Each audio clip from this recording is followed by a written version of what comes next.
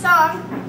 Um, I wrote a long time ago, but um, I stopped playing it because I was like, no, it's a stupid song. It's dinky and it's stupid and I hate it. I never want to play the song again. Mom, this song sucks because I was an angsty teenager and everything sucked.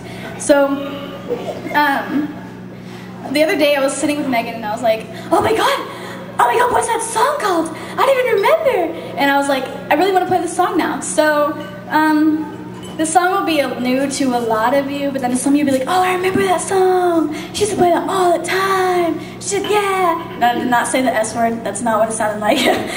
Oops. but, um, so I like this song now, and it's called Torn. So I haven't played it in a while, so don't laugh at me if I mess up. Okay.